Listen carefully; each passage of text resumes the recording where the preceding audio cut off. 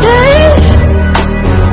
Come here for your problems and just make a wait Slow motion.